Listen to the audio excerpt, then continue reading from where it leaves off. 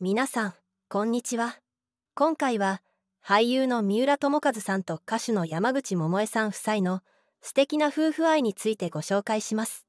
2018年に掲載された三浦友和さんのインタビューを通して結婚38年目を迎えた2人の仲睦まじい日常や家族について語られたエピソードの数々を探ってみましょう。映画「しおり」で共演した次男高弘さんの演技を絶賛し妻の桃江さんとの映画デートを楽しむ三浦友和さん。介護が必要になった両親の世話を献身的にする桃江さんに感謝の言葉を忘れない優しい夫の姿。お互いの存在に感謝し合い心の底から信頼し合っているからこそ喧嘩もしない仲良し夫婦なのだそうです。また息子である俳優の三浦貴大さんの近況や引退に関する一部報道についても触れていきます。普段はなかなか明かされることのない大物夫婦の素顔に迫った貴重なインタビュー。三浦友和さん山口百恵さん夫妻の自然体で温かい家庭の様子をぜひ一緒に覗いてみましょう。2018年の週刊誌のものを引用します。しおりは僕も新宿の映画館で見ましたよ。初めてでしたね。初めて自分の息子ということを忘れて見られたという体験をしました。と開口一番述べたそうです。2018年11月下旬の午後3時インタビュー場所であるホテルの一室に約束の時間より少し前に現れた三浦友和さんはジャケットもパンツもそしてメガネも黒一色でした。唯一純白のスニーカーが目に眩しく映ったといいます。シンプルですっきりした装いが渋く決まる当時66歳の三浦友和さん。今まではどこかに息子が演じている。と気になる部分がありましたがしおり。では本当に映画の中の人間にしか見えなかった。まるでドキュメンタリーを見ているように感じてああこんな俳優になったのかという驚き感動もありました。息子にはすぐにそうメールも送りましたけどねと和気あいあいとインタビューが始まりました。その日は妻桃江さんも一緒だったといいます。僕は息子の作品全部を見ているわけではないけれど母親は全部です。100%見ています。ハイカラビデオ。今回はいい映画だという話が伝わってきたのでだったら2人で行こうかと他の俳優さんも皆さんよかった。妻もいい映画だと感動していましたと述べ意外なことに夫婦で映画館に行く時は夫婦割を利用するのだそうです。最初は抵抗もありましたね。映画に携わる者として安く見るのは失礼かと思ったりして。でもここ数年はちゃんと夫婦割り。安く見られるなら行こうかなと思ってくれる人がいることはいいことだと思うようになりました。と心境の変化を語ります。言うまでもありませんが三浦友和さんの妻桃江さんは1970年代に絶大な人気を誇った歌手。山口百恵さんです。人気絶頂の1980年10月日本武道館のファイナルコンサートで白いマイクをステージに置き幸せになりますと芸能界を引退しました。それからインタビュー当時数えて38年が経っていました。桃江さんは翌年1月17日60歳の還暦を迎える年齢になっていました。長男裕太郎さんは歌手。次男の高弘さんは俳優としてその活躍の場を広げています。夫婦共通の趣味は映画と旅行だそうです。息子たちが独立して家を出てからは夫婦2人で旅行を楽しみ映画を楽しむ生活だといいます。夫婦2人きりになっても相変わらず夫婦喧嘩は一切しないそうです。頭で喧嘩はしないと決めていても喧嘩する人はするんです。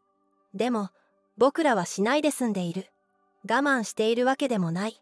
僕の場合は仕事が空いたら何ヶ月も空きます。その期間はずっと家にいるわけでお互い一緒にいることに慣れている。ずっと一緒にいても揉め事もなく疲れもしない。それはもう相性としか言いようがないんですよね。サラリーマンの夫婦が夫の定年後にギクシャクするというのは分かりますよ。うちの親がそうでした。父の当時は定年が56歳。父は無趣味ですからいきなりずっと家にいるわけで母は鬱陶しかったことでしょうと夫婦関係を赤裸々に語りました。三浦友和さんの両親は同じ敷地内の別棟に住んでいるそうです。インタビュー当時父親は91歳母親は92歳と高齢でした。2人とも認知症ではないしトイレも自分で行けますが妖怪後一ですから妻が食事の世話をしています。ただ塩分制限などもあるので週3回くらいは夕食だけ宅食を頼んだりしています。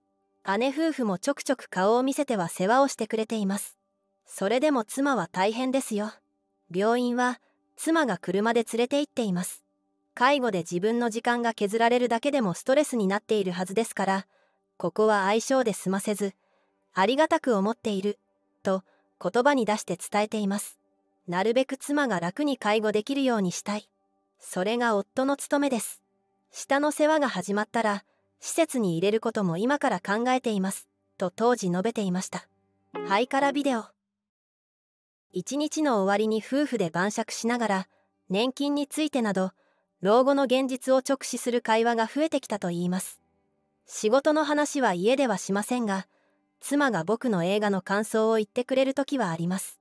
僕は見ないでほしいというタイプなんで全部ではないはずですがこっそり映画館で見ているようです。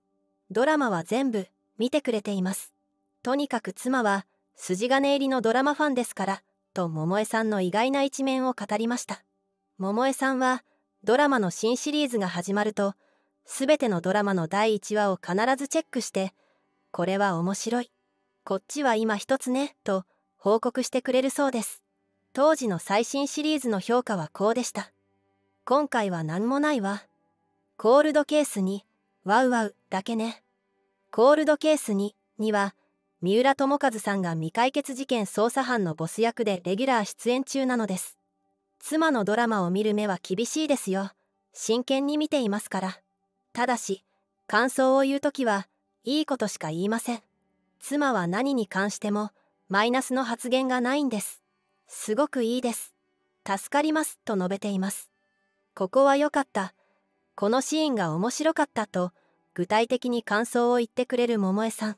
たまにこのシーンはどうだった？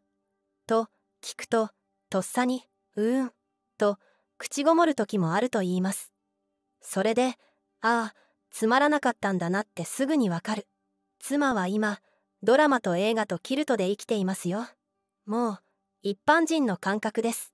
音楽番組も一ファンとして見ていますからと述べています。2018年の NHK 紅白歌合戦の出場者が発表された時夫婦でこんな会話があったそうです。世の中にさほど知られていなくても紅白に出ちゃうんだねという桃江さんに対して今の芸能界はその知られていない人が武道館を満杯にできたりするんだよと三浦友和さんは述べたそうです。そして最後にやっぱり私たちの時とは時代が違うんだなと述べたと言います。そうつぶやく桃江さんはしみじみとした口調だったそうです。ですからもう妻からアドバイスできることなど何もないんです。息子たちの映画を見たり CD を聴いたりしてよかったよと言うだけです。うちはずっとそんな親子でやってきました。と語っていました。年明けの1月友和さんは67歳。桃江さんは還暦を迎えます。60歳は妻にとっては母親が亡くなった年齢でもあります。それだけに60歳への思いが強いのかすごく重く捉えているようです。ハイカラビデオ。誕生日には何かしてあげようと思っています。息子たちもそのつもりでいるようですと三浦家の内情を赤裸々に語った貴重なインタビューとなりました。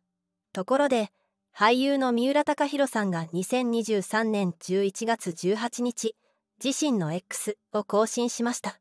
そこで引退疑惑を否定しました。三浦貴大さんは引退するのか？という連絡を何件かいただき何のこっちゃわからずですが僕は俳優の仕事が好きですし辞めるつもりはありませんと記述しています。引退を心配するような声が寄せられていることを明かしそれをきっぱり否定した格好です。三浦貴大さんをめぐってはこの日一部メディアで9月に別の SNS で記したあと5年くらい頑張りてえという発言や最近も自身のメンタルに言及していたことなどを引き合いに引退を示唆しているのではという知人証言を報じるなどしていました。一体その知人は誰なのかと突っ込みたくなりますが三浦貴大さんは X にプレッシャーはいつでもありますがそれがあるから仕事を続けられていると思いますと記述しています。そしていつも応援ご心配してくださった皆様またこれからも映画やテレビでお会いしましょうがちなみに別の SNS に書いた5年くらい頑張りてえってのは最近始めたウォーキングのことです。と綴ってオチをつけていました。この投稿にこれからも応援しています。これからの活躍も楽しみにしております。ほっとしました。よかったです。などのコメントが寄せられています。三浦貴大さんは俳優の三浦友和さんと引退した山口百恵さん夫妻の次男です。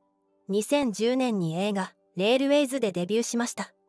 キングダムシリーズや先月公開の「愛の稲妻」などの映画のほか数々のドラマ CM などで幅広く活躍しています。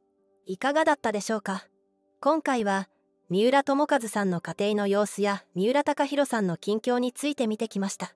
さて俳優の三浦友和が半生を振り返った著書「愛称」を2011年11月19日に出版しました。当日は31回目の結婚記念日の予定だったそうです。内容としては元歌手の桃江さんについての思いも明かしています。著作は1999年の被写体以来2冊目となります。きっかけは映画「レールウェイズ愛を伝えられない大人たちへ」への出演だったそうです。定年直前に妻から離婚を求められる鉄道運転士役を主演し2012年1月に還暦を迎える自身に重ね合わせたといいます。桃江さんの芸能界復帰についてはそんな大きな気持ちをしまい込んでいた妻に気づいていないなら夫失格。離婚しないといけないとし深く理解し合った夫婦の自信を覗かせていました。とにかく大物カップルでありながら結婚生活の様子が漏れ伝わってくると至って自然体な様子がうかがえます。まさに理想の夫婦ここにありといったところでしょうか。皆さんの意見をぜひコメントで教えてください。ご視聴ありがとうございました。この動画が気に入っていただけましたらチャンネル登録高評価をお願いします。